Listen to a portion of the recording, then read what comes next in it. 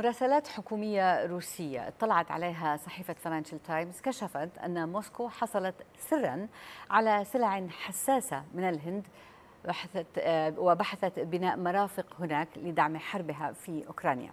بحسب المراسلات في أكتوبر 2022 خططت وزارة الصناعة والتجارة الروسية لإنفاق ما يعادل مليار دولار لتأمين منتجات إلكترونية عالية الحساسية. وفقا لتقرير فاينانشال تايمز استهدفت روسيا والهند التقنيات ذات الاستخدام المزدوج وهي السلع ذات التطبيقات المدنية والعسكرية الخاضعة لقيود غربية. وبينما تزداد العلاقات بين موسكو ونيودلهي عمقا أصبح هذا التقارب مصدرا متناميا للخلاف مع واشنطن. حيث وجه نائب وزيرة الخزانة الأمريكية تحذيرا الآن إلى ثلاثة من أكبر المنظمات التجارية الهندية من فرض عقوبات على المؤسسات أو الأفراد الذين يتعاملون مع القاعدة الصناعية العسكرية الروسية.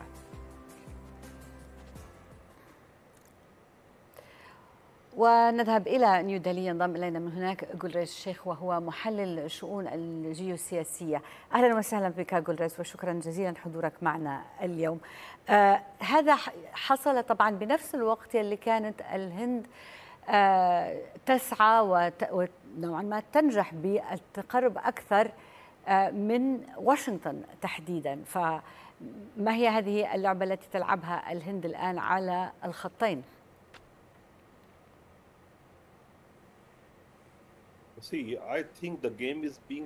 أعتقد أن الغرب هو من يلعب هذه اللعبة في جميع وسائل الإعلام الغربية بمن فيها فاينانشال تايمز ووسائل الإعلام الغربية تنشر هذا الكلام غير الصحيح فالهند ملتزمة بالسياسة الأجنبية كدولة ذات سيادة وهي حرة باتخاذ قراراتها التي تلبي مصالح القومية.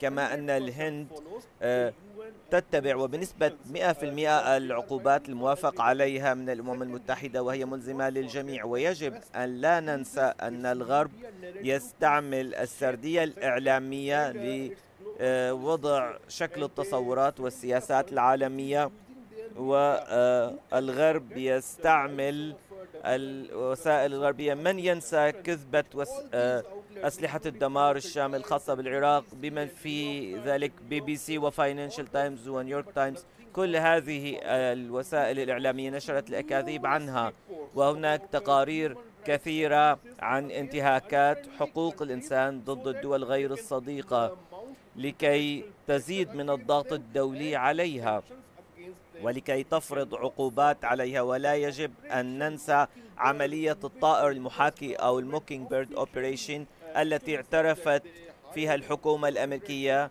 أنها قد استعنت ب 400 شخص وتحديدا من الجامعات ومن الحيز نعم. العام خلال الحرب الباردة لنشر الأكاذيب عبر الإعلام طيب وويليام كولبي خلينا نبقى بهذا نعم خلينا نبقى بموضوعنا موضوع اليوم آه لو سمحت. خلينا نحكي بس بميكانيكية ما الذي يحصل طبعا آه ولا ننظر لما ورد بهذه الصحف التي تتحدث عنها. آه هذه الخطوط مفتوحة أو غير مفتوحة ما بين الهند وروسيا؟ الهند تشتري النفط من روسيا وتدفع بالروبل وروسيا بحسب هذا التقرير تستخدم هذه المبالغ من أجل أو لشراء بعض المكونات.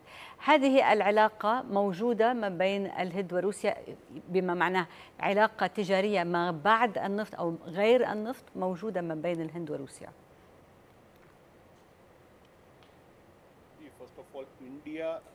أولا الهند وروسيا لديهما علاقة استراتيجية بعيدة المدى وهذه العلاقة في تتضمن برنامجا مشتركا للصواريخ وكذلك شراء الأسلحة والتجارة لا تقتصر على الأسلحة بين البلدين فالهند وروسيا تتعاملان مع بعضهما البعض بعملاتهما الثنائية وليس بالدولار حاليا. لكن هناك أكثر من مليار دولار من الصادرات من الهند إلى روسيا من السلع المرتبطة نعم. بالهندسة بما في ذلك قطاع السيارات ومنتجات الهندسة والمعدات الثقيلة والمعدات الخفيفة إذا قيمة هذه السلع أكثر من مليار دولار وكذلك هناك تجارة المستحضرات الصيدلانية بالعملات الثنائية وهناك شراء للأدوية الهندية الجنيسة آه، والهند آه، المورد الأساسي في العالم للأدوية الجنيسة. وبالتالي هناك الكثير من الفولاذ الهندي الذي يتجه إلى روسيا وهناك تجارة نعم. بالروبل والروبية وتبادل على هذا الموضوع السلع.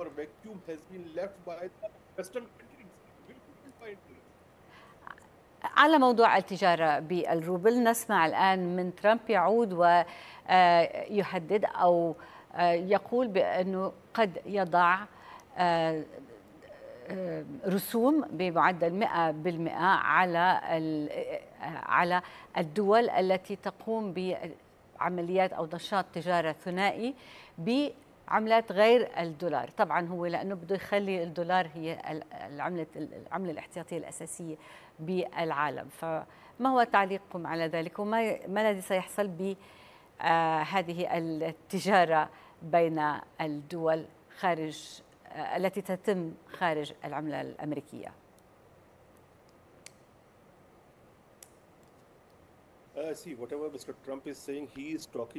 ما يقوله السيد ترامب يناسب المصالح الأمريكية وهو سيفعل ما يناسب المصالح الأمريكية. لكن أمريكا اليوم ليست بالقوة التي كانت عليها قبل عقدين. هي لم تضعف بالضرورة لكن الهند وروسيا والبرازيل وأفريقيا الجنوبية وبعض الدول الأخرى بما في ذلك السعودية أصبحت أقوى. إذا هناك محدودية للقوة. هناك محدودية في القوة العسكرية وهذا الأمر ينطبق على كل شيء. وإذا كانت دول بريكس تمارس التجارة فيما بينها في اجتماع بريكس في قازان اتخذوا قرارات وعلى الأغلب سيتخذون قرارات إضافية بخصوص التجارة بالعملات الثنائية فكيف يمكن لأمريكا أن توقف ذلك؟ هي يمكن أن تحاول لكنها لن تتوقف أو لن تتمكن من إيقاف التجارة بين هذه الدول بالعملات الثنائية وهي لا تستطيع فرض عقوبات. فهي أفرطت في استعمال العقوبات وهذا ما أثر على الدولار اليوم. كل شكرا جزيلا حضورك معي هذا الصباح. اشتركوا في قناة اقتصاد الشرق مع بلومبرج على يوتيوب لمتابعة برنامج الصباح مع صبا.